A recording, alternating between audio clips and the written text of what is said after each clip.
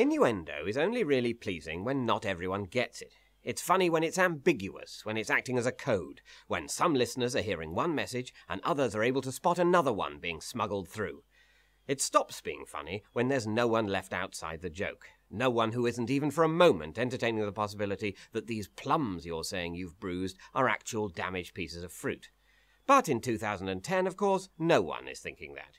Even the proverbial vicar is wondering why that unfortunate young man isn't more careful with his testicles. Then, the only way to make it funny again is to puncture it, to respond to anyone who insists on saying, it's not the size that counts, it's what you do with it, with, oh really, like with penises?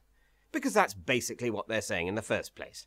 As we get more and more open about sex, so innuendo becomes just a stupid pun. Presumably, that's why certain 60s sitcoms and carry on films were so endlessly filled with innuendo, because sex had only recently become something you could allude to, and so the place between saying something innocent and saying something rude was fraught with tension, ambiguity, and so humour.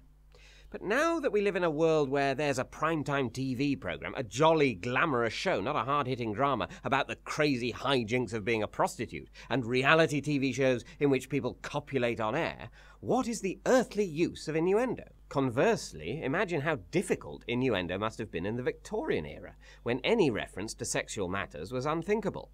I'm told there's a pub in London which used to be a brothel in the 1890s, and you can tell this because behind the bar are discreet but explicit carvings of Victorian gentlemen having sex with ladies.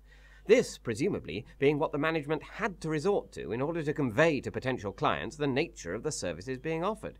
It was no good just saying, This establishment, sir, it's a place where you can meet a lady, sir.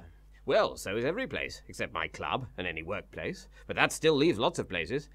Yes, sir, but when I say meet a lady, I mean you can make love to her.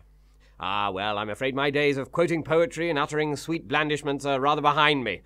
No, sir, I mean you can go to bed with her. But I'm not in the least tired, and I have an excellent bed of my own. Sir, if you give me money, you can put your penis in a lady's vagina. Oh, right. Well, no, thank you. For you see, I am a screaming bender.